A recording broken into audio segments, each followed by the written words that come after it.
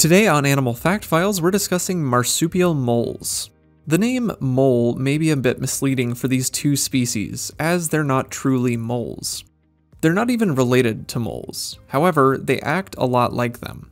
As marsupials, these mammals are separated from all other placental mammals, so it's a case of convergent evolution that they look and behave so similarly to true moles. Marsupials give birth to premature young that finish their development in a mother's external pouch, and the marsupial moles are no exception to this.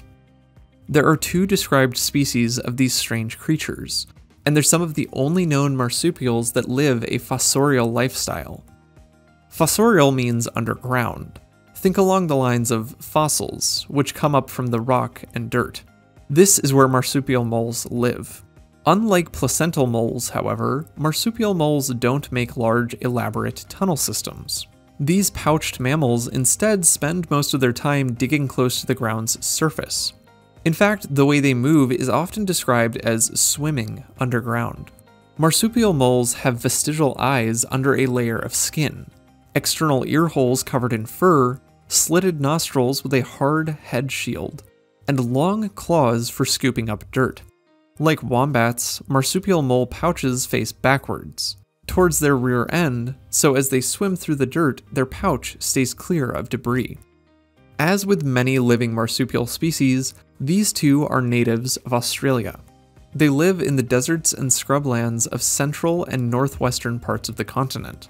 Marsupial moles are rarely observed, and there's very little known about them overall.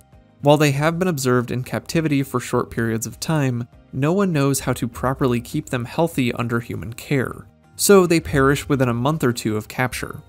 What's more, their fossorial nature makes them difficult to study in the wild. With help from the watchful eyes of Australian Aboriginals, scientists have been able to compile some information about these amazing animals.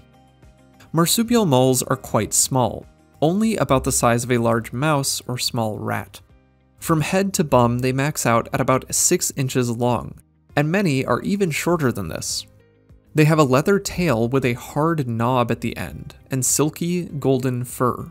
In fact, they're described as looking very similar to golden moles. A marsupial mole's fur can become stained red due to iron in the sand they inhabit. They prefer dry places with sparse vegetation, a perfect place to dig up grubs, literally. Marsupial moles eat insects, and more specifically, insect larvae. They have a strong sense of smell for finding insect nests below the surface, and a long, sticky tongue for lapping up the larvae inside. Ant and beetle larvae feature heavily in their diet. Captive individuals have been seen eating centipedes and geckos, but it's not known if this behavior is commonplace in the wild. According to Aboriginal observations, marsupial moles are decreasing in population. Some species are impacted by habitat loss as well as predation from invasive predators such as foxes and cats. Dingoes likely also eat these small mammals. Staying underground for most of their lives probably helps keep them safe, and while they spend most of their lives at the surface, they are known to dig more than 6 feet underground. It's currently believed that female marsupial moles do just this when they're preparing to give birth. Based on a few captured females who had babies, these mammals are believed to give birth in the late spring or early summer. No one knows how mates find each other, although their strong sense of smell may help with this. Mother marsupial moles have only two nipples in their pouch, and all the collected mothers had only one or two babies at a time. It's unknown how long they live, how long it takes them to mature, or even if they live alone or in social groups there's still lots to learn. For more facts on marsupial moles, check out the links below. Give a thumbs up if you learned something new today. Thank you to our patrons, Spike Spiegel93, Dad, and everyone else for their support of this channel. And thank you for watching Animal Fact Files.